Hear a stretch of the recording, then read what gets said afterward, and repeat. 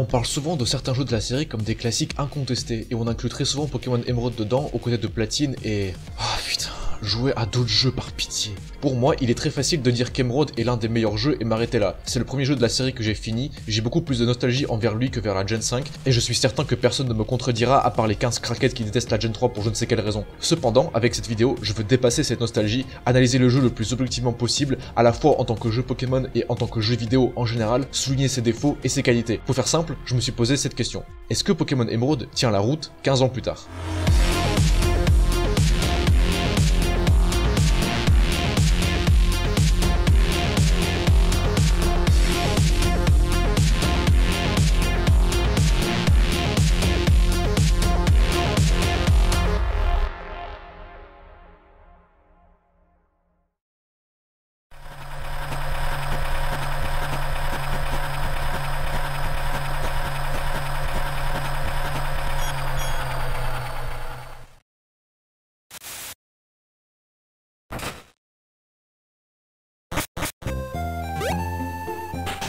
La Gen 3 a apporté un gros lot d'innovations dans la série et la majorité d'entre elles sont encore présentes dans les jeux récents. Avant de commencer, je vais juste dire que oui, c'est Ruby et Saphir qui ont innové en premier et qu'Emerald est juste une version améliorée, ce qui est vrai, mais pour moi ce jeu est ce que Ruby et Saphir auraient dû être à la base. Il les a rendus obsolètes tout comme Platine l'a fait avec Diamant et Perle et Ultra Soleil avec Soleil. Et Emerald a aussi apporté son lot d'innovation. Donc pour commencer, on va parler des talents et des natures. Vous savez très bien ce que c'est si vous avez joué à n'importe quel jeu sorti après, mais c'est ici que ça a commencé et c'était assez rude. Les talents n'avaient qu'une seule ligne dans le résumé pour être expliqué, ce qui n'aidait pas à les comprendre. Par exemple, on peut très bien confondre les talents des starters avec Cran, car la description est similaire. Il n'avait pas la place d'écrire que Cran augmente l'attaque uniquement si le Pokémon a un statut.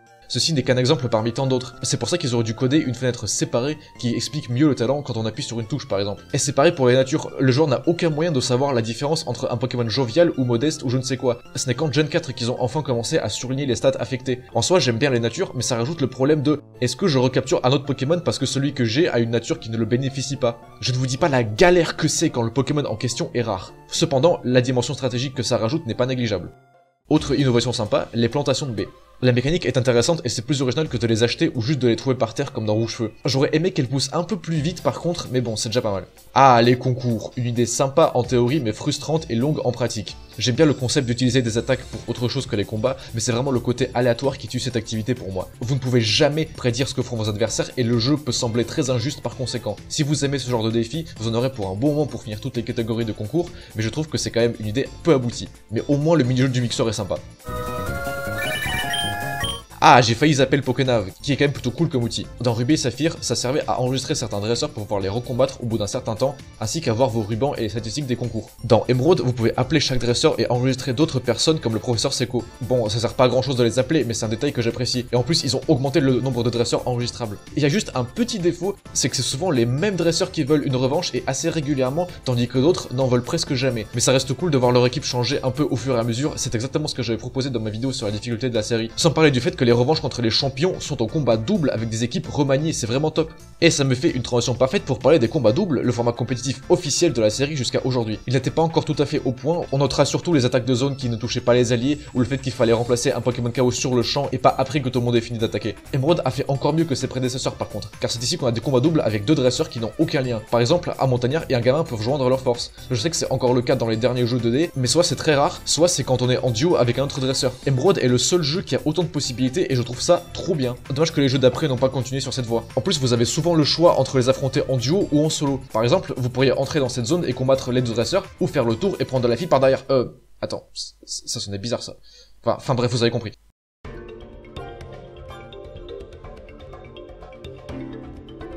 on va parler de ce qui est, de mon point de vue, la qualité de ce jeu, et la raison pour laquelle j'y rejoue beaucoup plus souvent qu'aux autres opus de la série.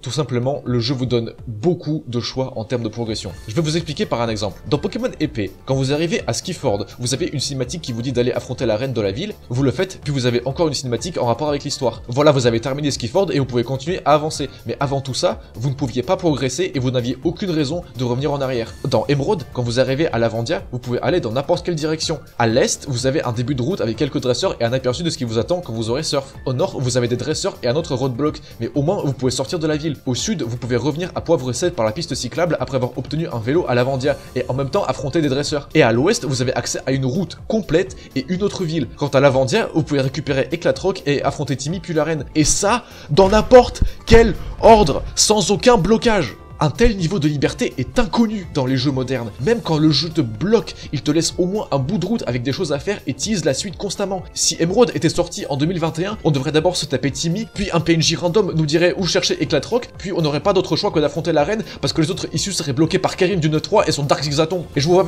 j'ai pris l'exemple le plus extrême dans Emerald vu que Lavandia est la ville la plus centrale du jeu. Mais ok, prenons-en un autre. Quand vous arrivez à Meroville, vous pouvez très bien affronter Roxanne, mais aussi poursuivre sur une route au nord et à l'est, jusqu'à dans la grotte dans laquelle vous affronterez le sbire à quoi plus tard? Un jeu moderne n'aurait jamais laissé le joueur faire ça. Et le pire, c'est que deux des huit arènes peuvent être passées, à savoir Bastien et Alizé. Vous pouvez facilement naviguer la grotte granit sans flash, donner la lettre à Pierre et vous barrer sans entrer une seule fois dans l'arène, ou même sans récupérer flash tout court. Et oui, le badge d'Alizé vous débloque vol, mais si vous êtes un vrai crackhead, vous pouvez très bien vous en passer aussi. C'est vraiment le genre de détail que j'aurais aimé que les remakes gardent, mais non, ils ont préféré mettre des PNJ de merde qui brisent le quatrième mur pour te dire d'aller choper le badge. Donc vous avez compris, le jeu vous met très rarement, pour ne dire jamais, dans une situation où vous n'avez qu'une seule chose à faire. Certes, l'intrigue est linéaire, mais le nombre massif de chemins annexes à prendre rend le tout très agréable à rejouer, beaucoup plus que les meilleurs jeux de la série. Ensuite, il y a l'interconnectivité qui vient renforcer ce que j'ai dit précédemment. Par exemple, vous avez fait tout le tour en bateau pour aller de Clémenty à Lavandia, mais dès que vous avez Éclatroc et le badge, vous pouvez briser les rochers dans le tunnel Mérazon et vous avez un raccourci vers Mérouville. Pareil, quand vous avez battu Norman et débloqué Surf, vous n'avez qu'à aller à la route 103 et surfer vers l'est pour revenir au nord de Poivre-Sel, remonter à Lavandia et faire la quête annexe de Voltaire qui requiert justement Surf. Mais bordel de merde Vous voyez à quel point ce jeu est bien foutu D'ailleurs, le nombre de choses que Surf vous débloque est hallucinant. Genre, vous pourriez surfer à l'est de Lavandia pour continuer l'aventure, vous pourriez faire ça. Mais pourquoi? Pourquoi faire un truc comme ça quand vous pouvez traverser les deux chenaux que vous a le jeu après le premier badge, choper les objets cachés derrière un bandeau sur plusieurs routes, aller dans l'épave, vous faire un putain de jacuzzi, j'en sais rien moi. Il y a tellement de trucs à faire à chaque CS débloqué et c'est quelque chose qui ne se retrouve plus du tout dans les jeux d'après. D'ailleurs, vas-y, on va parler de la montagne, non, de l'Everest de contenu annexe que ce jeu offre.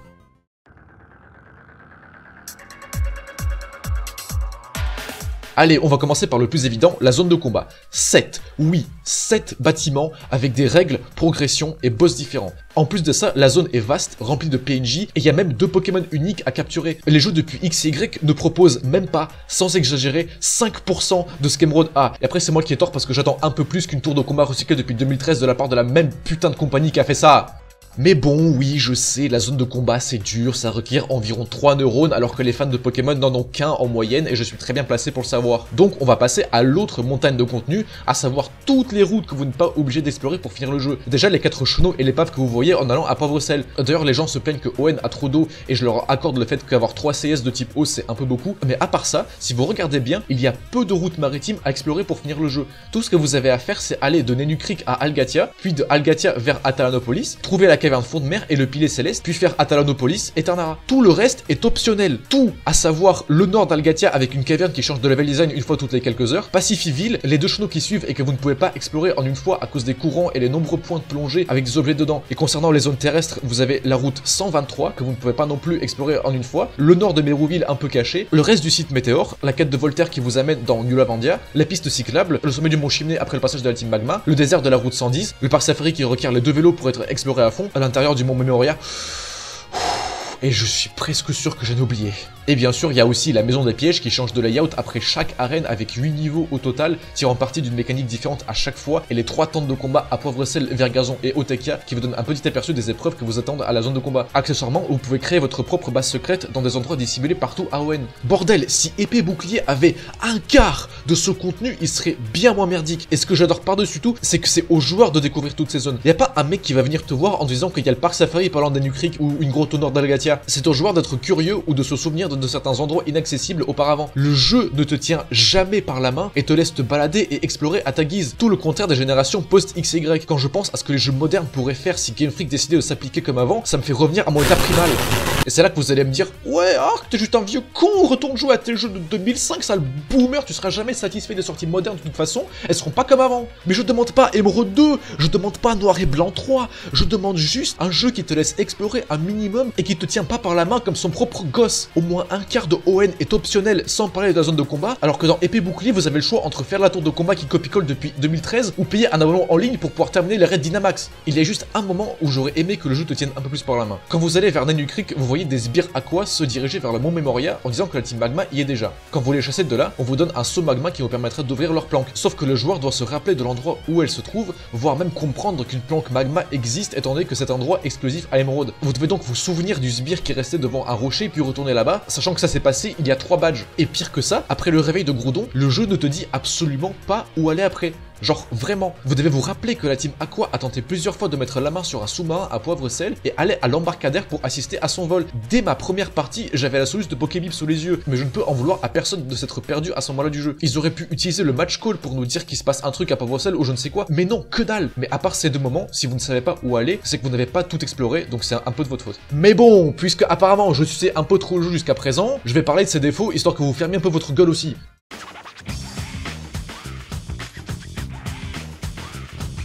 Une des choses que je détestais le plus jusqu'à l'arrivée de Diamant et Perle, c'était les types physiques et spéciaux. En gros, les attaques de type feu, eau, plante, ténèbres, psy, glace, électrique et dragon étaient toutes spéciales, et les autres types physiques, ce qui est vraiment vraiment débile. Par exemple, Tignon apprend les points élémentaires assez rapidement, mais ne peut pas les utiliser puisque son attaque spéciale est plus basse que le QI d'un fan de Nintendo. Et ça vaut pour tous les Pokémon qui ont un ou deux types spéciaux mais qui frappent en physique, notamment un de mes Pokémon préférés, Colomar. Et le pire, c'est que toutes les attaques de type ténèbres introduites avant la Gen 4 sont devenues physiques, alors qu'elles étaient spéciales avant. Après, ça arrange aussi certains Pokémon comme Junko qui a une meilleure attaque spéciale que physique et profite du fait que l'âme soit spéciale. Mais ça reste un handicap considérable pour beaucoup de monstres. Mais il y a pas que ça qui va pas. On peut parler des attaques apprises par niveau car c'est du grand n'importe quoi. Game Freak n'a quasiment pas retouché le moveset des vieux Pokémon avant la Gen 5. Du coup, on se retrouve avec Nosferatu qui apprend Cruel, c'est-à-dire sa première attaque stabée au niveau 21, à un niveau avant d'évoluer, alors que Goélise, Pokémon introduit en Gen 3, l'apprend au niveau 13. Est-ce que vous avez une idée du cancer que c'est d'entraîner un Nosferatu si vous voulez finir le jeu avec un Ostenfer Et le pire, c'est qu'on peut continuer à parler de Goélise et Bekipan, puisque ce premier apprend un total de une attaque haut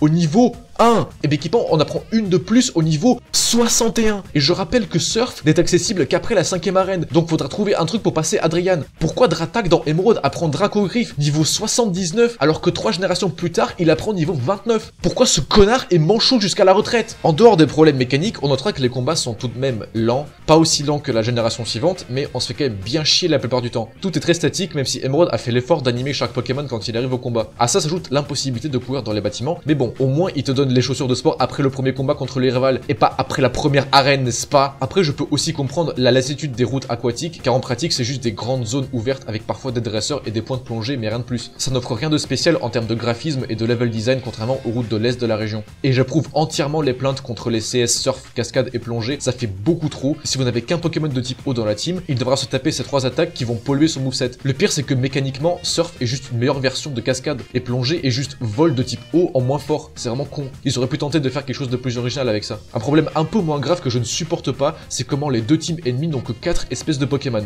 Oui, vous avez bien entendu, les deux teams combinés ont 4 espèces de Pokémon, à savoir les familles de Mediena, Nosferapti, Chamalo et Carvana. À chaque fois que vous allez combattre un sbire magma ou aqua, vous allez tomber sur l'un de ces quatre bouffons. Sans déconner, il y a tellement de Pokémon haut et feu. Pourquoi ne pas mettre Lanterne, Azumaril, Colomar à la team aqua et Volcaropod ou Chartor à la team magma? Bordel de merde, il y a littéralement un sbire aqua qui entraîne des Welmer à Nanukrik. Alors pourquoi ils n'en ont pas?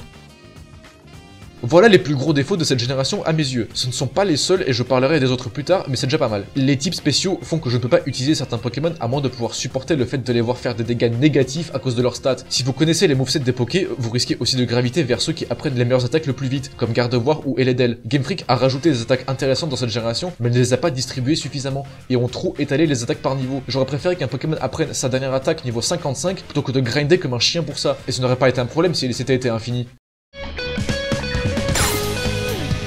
Il y a un glitch dans ce jeu qui est peut-être méconnu car il se trouve dans la zone de combat, qui vous permet tout simplement de cloner des Pokémon et les objets qui tiennent. Je vais pas rentrer dans les détails, mais c'est très facile à faire et pas très risqué si vous le faites bien. En tout cas, je n'ai jamais eu de souci avec. Et comme on peut donner des CT aux Pokémon, vous pouvez les dupliquer à volonté. Certes, on peut compter ça comme un défaut puisque c'est un glitch, mais je ne peux pas m'empêcher de trouver ça trop cool. Je ne connais aucune autre manip dans la série qui est si facile à faire et si rentable. Mais bon, ça veut quand même dire qu'il ne faut pas utiliser vos CT uniques avant d'en arriver là, ce qui peut être frustrant. Maintenant, parlons un peu du scénario et des personnages.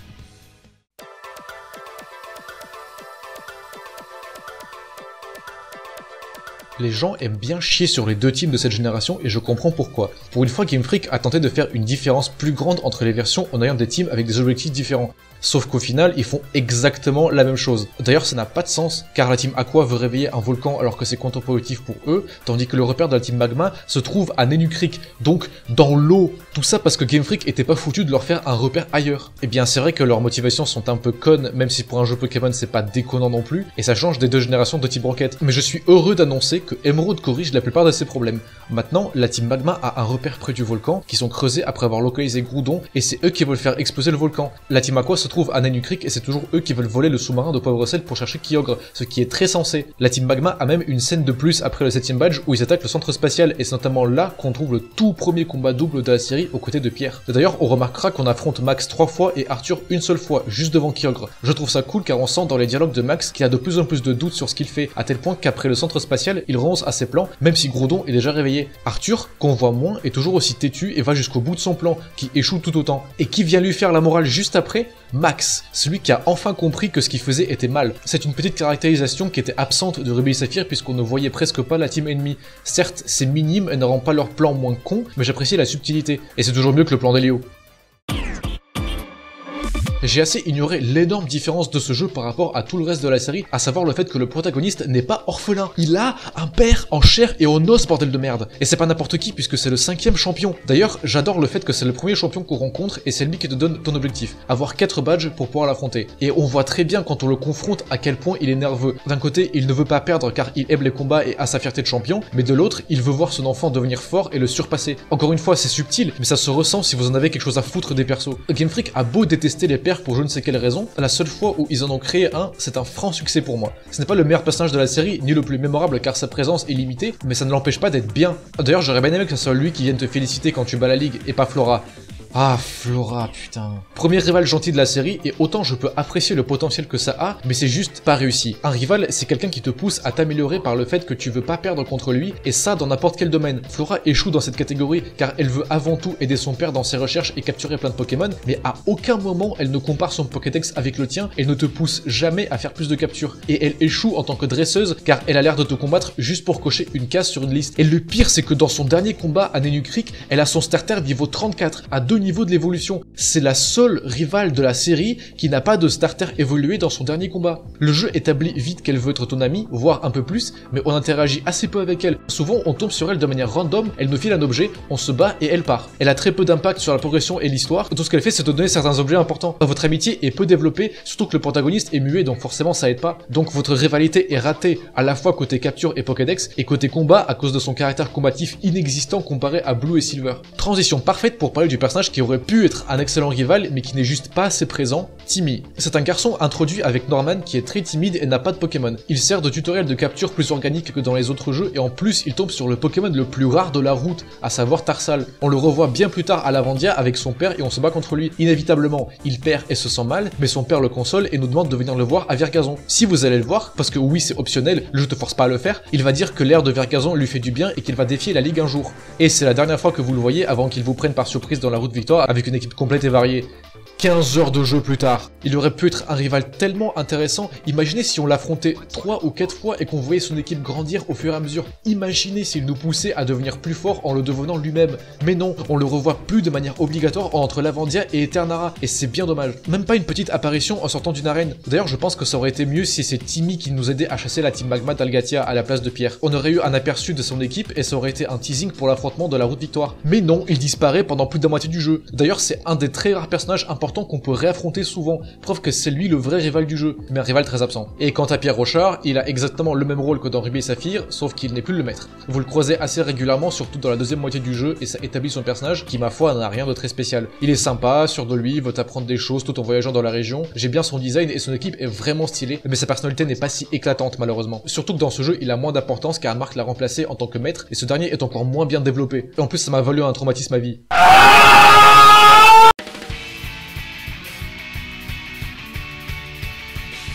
Niveau difficulté, je ne dirais pas que le jeu est difficile, mais c'est déjà un step-up comparé à Ruby et Saphir. Ils ont modifié en mieux les équipes des champions, qui ont 3 Pokémon dès le début et 4 à partir de Voltaire. Par exemple, Adrian avait 2 Limagma et un Chartor dans Ruby, mais ils lui ont mis Limagma, Camerupt, Chamallow et Chartor dans Emerald. Je déteste quand ils utilisent plusieurs fois le même Pokémon dans les équipes, et même si ça arrive dans Emerald, j'apprécie énormément ces changements. Surtout que le Pokémon ultime de Voltaire était un magnéton, même pas un Pokémon de la Gen 3. De manière générale, le jeu n'a pas peur de donner 2 ou 3 Pokémon à beaucoup de dresseurs, et pas mal de combats doubles ont 6 Pokémon adverses. Certains dresseurs auront des Pokémon évolués assez tôt dans l'aventure, ce qui est vraiment bien quand on ressort de Soleil et Lune et leur Ratata niveau 38. Les champions restent assez coriaces car très souvent leurs Pokémon ont beaucoup de PV ou de défense. Après ils peuvent aussi utiliser des tactiques cancer genre reflet ou attraction mais c'est pas insurmontable. Je trouve qu'on n'en parle pas assez mais les puzzles des arènes sont aussi plus difficiles qu'en moyenne, c'est-à-dire qu'ils vous demandent de réfléchir un minimum au chemin que vous devez prendre plutôt que de suivre un chemin tout tracé. À part la première arène anecdotique, les autres ont plus de moyens de se perdre et j'avoue que ça peut être frustrant de regarder un let's play où le mec passe deux épisodes à aller jusqu'au champion. Ça, plus la maison des pièges qui a ses propres puzzles après chaque et vous êtes goldé. En plus de ça, je commençais à m'habituer aux infirmières qui te soignent à chaque sortie de route, mais pas dans Emerald. Par exemple, quand vous sortez d'Otekia, vous allez devoir faire toute la route 114, le site Météor, puis une partie de la route 115 avec tous les dresseurs et Pokémon sauvages qui vont avec, sans aucun soin. Pareil pour le trajet Lavandia Simtronel. Oui, il y a un lit dans le centre météo, et j'ai envie de dire encore heureux que vous allez devoir affronter la team puis le rival. Mais le pire, c'est que je n'ai jamais ressenti le besoin de retourner me soigner. Mon équipe a toujours tenu le coup, preuve concrète que les jeux récents babysit le joueur. Cela dit, vous pouvez quand même rouler sur les champions si vous avez le bon Pokémon. Typiquement, si vous faites chier à évoluer un, un bras avant Bastien, il n'a aucune chance. Encore pire, si vous capturez Ténéfix, il ne pourra pas vous toucher. Gobu roule sur les champions du début et Arcos sur les derniers et le maître. Voltaire n'a aucune chance contre Rakayu non plus. Mais si vous n'avez pas ces Pokémon, vous allez probablement galérer un peu. Et ça c'est bien, parce que dans les jeux récents, vous pouvez solo run une team sans trop d'efforts. Mais pas ici. Maintenant parlons des niveaux. Je trouve le début du jeu est plutôt bien équilibré. Le jeu te donne suffisamment de dresseurs pour entraîner ton équipe, mais les niveaux des champions restent élevés. Mais vers le milieu, quand le jeu s'ouvre un peu plus, les niveaux ont tendance à stagner et énormément de dresseurs et de champions se retrouvent juste en dessous du niveau 30 pendant un bon moment alors que votre équipe continue à monter. Par exemple, l'Altaria d'Alizé est niveau 33 alors que le starter de Flora dans son dernier combat est niveau 34, soit un seul pauvre niveau alors qu'il y a énormément de dresseurs et de zones sauvages entre Simtronel et Nenu Creek. Il y a aussi des cas très sévères comme la Team Magma dans le centre spatial qui sont même pas niveau 30 alors que le champion qu'on est obligé de battre pour activer l'événement est niveau 41. Et on retrouve un problème similaire avec la ligue. Vous devriez être autour du niveau 45 en entrant dans la route victoire. Or le maître commence par un putain de Wellord 57. Certes, c'est un de ses plus forts, mais ça annonce la couleur. Et je peux vous dire qu'entraîner les Pokémon contre des putains de Hariyama Cyclone et des Galégons Hurlements, c'est très très amusant. Putain, qu'est-ce qu'on s'éclate dans le grenier Ah, ça me gonfle si jamais vous n'avez pas la patience de vous entraîner, achetez le max d'objets qui augmentent les stats et trouvez les super bonbons disséminés un peu partout. Ça devrait déjà vous booster. Mais bon, si on accepte ça, le jeu est plutôt bien équilibré et je ne pensais pas qu'un jour je devrais le présenter non pas comme une chose évidente, mais comme un avantage par rapport aux autres opus. Toutefois, ça reste un jeu Pokémon et il y a plein de moyens de lui rouler dessus. Je vous redirige vers ma vidéo sur la difficulté dans la série pour mieux comprendre mon point de vue.